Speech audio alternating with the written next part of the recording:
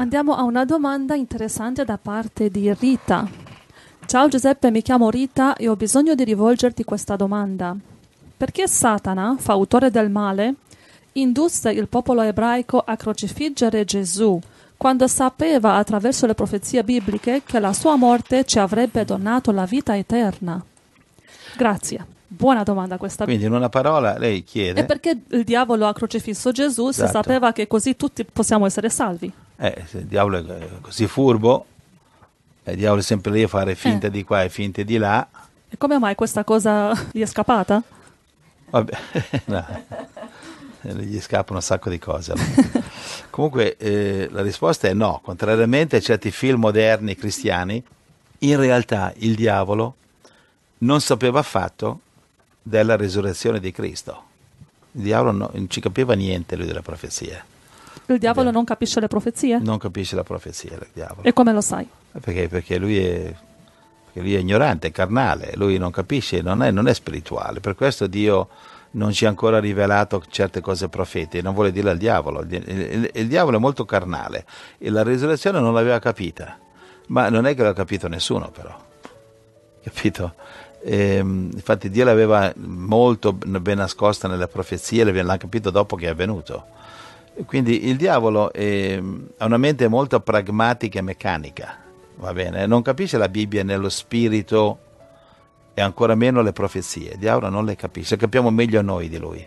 Però sembra molto intelligente, specialmente quando manda sempre le tentazioni giuste per tentarti. Già sa cosa funziona per tentarti. Vabbè, cosa vuol dire quello? Che sembra intelligente. Sì, vabbè, intelligenza è un'intelligenza maligna, è un genio del male.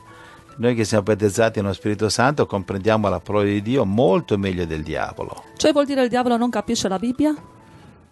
Capisce, capisce, sì, però è una maniera carnale, capisci? È una maniera come quelle religioni che non hanno lo Spirito Santo. Allora il testimone forse... diceva che Gesù è un angelo, Gesù è un uomo, non ho capito niente quelli lì. Capito? Ho capito molto, ma c'è le cose più importanti non le hanno capito. Sto pensando come ero io prima di ricevere Gesù nel cuore, prima di avere lo Spirito Santo. Ho provato a leggere la Bibbia solo per, come una filosofia, però non ho capito niente. Non ho niente. capito niente. Forse è così anche lui. Sì, infatti ci sono dei, dei- dei cristiani strampalati e stravolti che dicono che la Genesi, come il Papa è uno di questo, è uno, è uno- è uno dei loro capi, dice che la Genesi è tutto simboli. E lui cosa capisce? Lui capisce solo eh, massoneria, New Age, questo lui capisce bene. La Bibbia non la capisce. Perché non riesce a spiegarla, lui, che eh, lui non è battezzato nello Spirito Santo, questo Papa, non può spiegare le parabole, non può spiegare la Genesi capitolo 1, i, i sei giorni della creazione, non può spiegarli, perché mica vuole, mica vuole mettersi a litigare con gli scienziati, lampadari, luminari della scienza che dicono che è stato creato miliardi di anni fa. E lui per non litigare con loro dice Dio ha usato il Big Bang, Dio ha dovuto usare la scimmia, ma, ma, ma state zitto che non capisci niente. Dio ha creato Adamo ed Eva. Ma come Dio può creare l'universo, non può creare Adamo ed Eva? Come è scritto nella Bibbia? No, quello è simbolico. E chi te l'ha detto che a te che sei, sei tu che sei simbolico? Tu, tu- tu sei qui oggi, ma domani sei solo un simbolo, non esisti più. La Bibbia è letterale, tranne quando, va bene? Tranne quando diventa simbolica, ma come lo sai quando è simbolica? In virtù di altre scritture, non in base a quello che dice il Papa. Va bene, non puoi interpretare la Bibbia dal punto di vista del Papa. Il Papa deve stare zitto, leggere la Bibbia, accettarlo così com'è. Va bene? E questi imbroglioni cosiddetti pastori, preti che dicono che veniamo dalle scimmie, sono imbroglioni, sono loro le scimmie. Va bene, loro saranno anche scimmie, o perlomeno i loro genitori, secondo loro. Va bene, la Bibbia è così com'è. La Bibbia è sempre letterale, tranne, tranne quando diventa simbolica in virtù di altre scritture. Non in virtù di quello che dice il signor Papa, che non capisce niente di Bibbia. Tranne quando legge un bigliettino che qualcuno un po' più in gamba di lui gli ha scritto. E per esempio le profezie si capiscono solo attraverso le altre scritture, collegando diverse scritture da diverse parti della Bibbia. Quando non capisci una scrittura, devi metterti in ginocchio, chiedere l'ausilio, l'aiuto, l'in- e la, la- la- la mediazione, l'intercessione non de- di Meggiugoria, ma dello Spirito Santo. E allora eh, C'è solo un modo, solo un modo di interpretare le scritture. E avendo, chiedendo a Dio la, la rivelazione, l'illuminazione di una chiave scritturale, non di Meggiugorio del Papa o anche di qualche evangelico.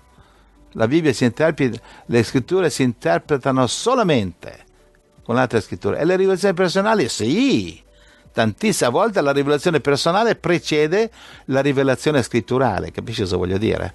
Cioè Dio ti rivela, a me mi succede tante volte, rivela una verità, ma se non trova un riscontro scritturale, va bene?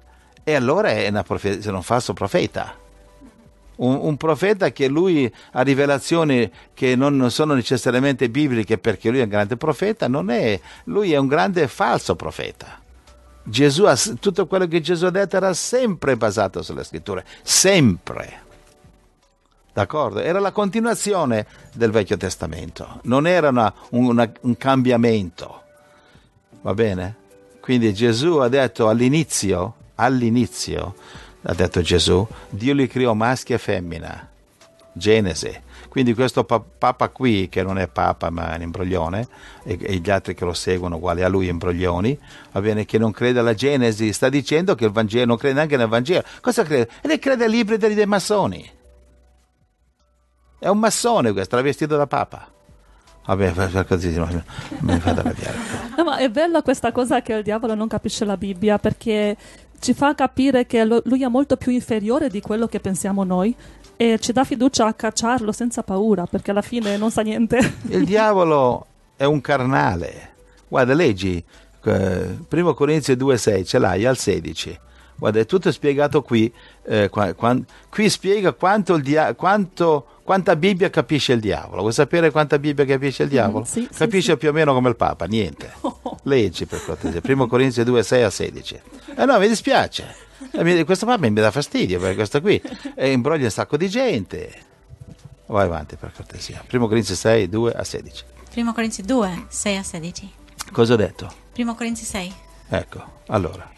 Tuttavia, a quelli tra di voi che sono maturi, esponiamo una sapienza, però non una sapienza di questo mondo, né dei dominatori di questo mondo, i quali stanno per essere annientati.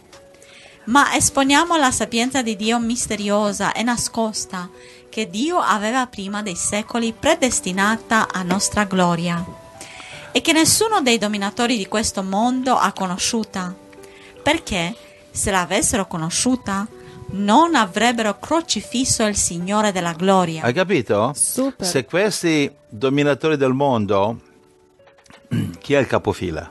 È il diavolo. Il diavolo se avessero capito le profezie non avrebbero crocifisso Gesù, ma siccome sono ignoranti, lo dico con rispetto, ignorano.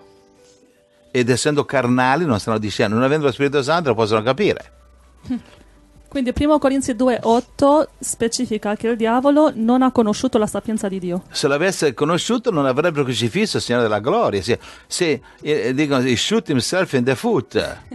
Com'è italiano? Si è dato la si zappa sul, spiede, eh, sul si piede. Eh, dicono a me che si è sparato sul piede. Mm, una... in Italia si è tirato la zappa sui piedi. Capito? I farisei hanno detto, caspita, è risorto, siamo, siamo fregati, siamo fritti. Gloria a Dio. Magari non l'avessimo neanche eh, crocifisso. Ah, ah, ah, troppo tardi.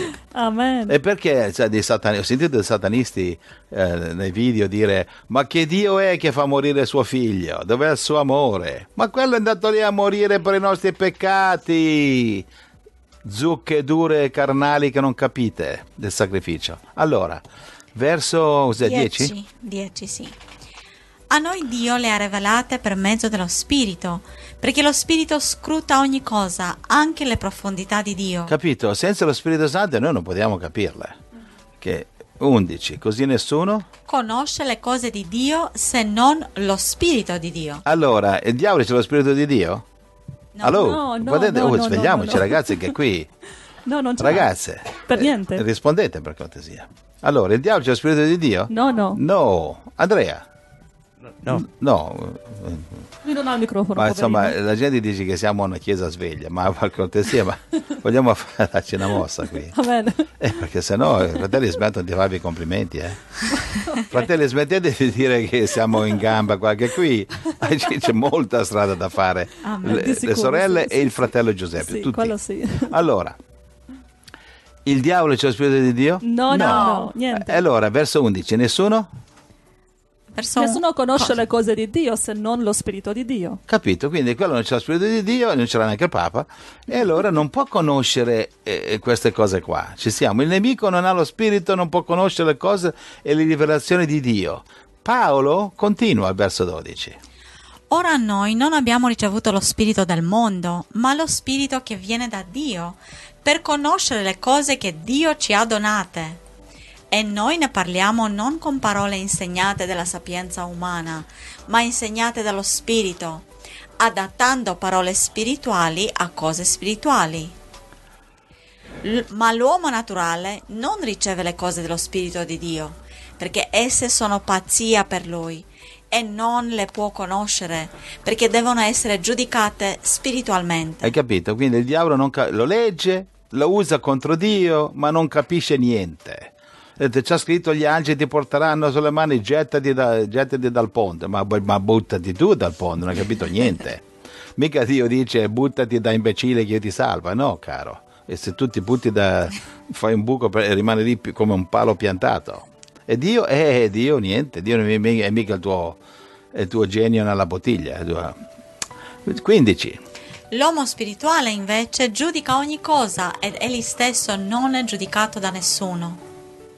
16. Ora noi abbiamo la mente di Cristo. Va Amen, bene. amen. Quindi, guarda, se- quindi primo Corinzi 2 è tutto spiegato qua perché, perché il diavolo crocifisse perché non capiva niente, non capisce niente di oggi, figurati ieri. Dal, dal momento che lo spirito di Dio è dipartito, si è separato da quell'arcangelo ribelle chiamato Lucifero, è diventato diavolo, è diventato tenebra, non capisce più niente. E lui è solo- adesso è solo un genio del male che sta andando diritto all'inferno, nessuno lo fermi. E che non capisce le cose spirituali. Non capisce cosa è spirituale. Però questo lo limita tanto nei suoi poteri, significa che veramente tutto quello che lui ha sono solo bugie. Non Solo bugie, ma basta vedere nell'impero romano che i cristiani vinsero l'impero romano, il cui capo era il diavolo, attraverso gli imperatori, e, e i cristiani lo vinsero E se- con l'amore, predicando l'amore. Ecco, capisci? ecco perché le crociate, quelle cose, le inquisizioni erano creazioni di Satana, perché è con l'amore che si vince il mondo. E, il diavolo non capiva che con più perseguitava i cristiani, con più i cristiani si moltiplicavano. L'hanno capito, lo hanno capito. Eh, infatti in Cina eh, sono- non sanno più cosa fare perché con più perseguitano i cristiani e li perseguitano, con più si moltiplicano. Perché perseguitando i cristiani in Cina, qual è il messaggio? I cinesi sono capre, caproni, malvagi, ingiusti, oppressori, dittatori. E cos'è, eh, la, cos'è la risposta? Il capitalismo? No, è cristianesimo. È cristianesimo. Sono centinaia di milioni i cristiani in Cina adesso. Centinaia di milioni. Quando Mao Zedong ha preso potere erano meno di 100.000. Però grazie alle persecuzioni, grazie tra virgolette, va bene, sono diventate centinaia di milioni che erano meno di 100.000. Perché la persecuzione, come disse, non so è stato Sant'Agostino, detto, i martiri sono, sono il, sono il sangue dei martiri e il seme della Chiesa, qualcuno ha detto. Va bene? E allora, eh, per questo che il dialogo fa finta di essere democratico, fa finta di essere socialista, fa finta di essere umanitario, perché praticamente è un imbroglione. Se non imbroglia il mondo, il mondo lo guida il diavolo attraverso gli imbrogli. Allora, Angela, è sufficiente? Sì, E sì, come grazie. risposta? E allora significa che il diavolo non conosce il futuro e non sa cosa succederà domani perché lui non ha saputo che Gesù sarebbe risorto. Eh no, eh no, lui non sa cosa succede oggi, figurati sa cosa succede domani. Sì, ha letto qualcosa così nelle profezie, non ci capisce niente. Sì. Però una cosa la sa, andrà all'inferno. Sì, Quello è chiaro questo è chiaro, questo è chiaro. Quello non deve interpretare. Questo assolutamente. Ok, allora un'altra domanda, possiamo andare al prossimo?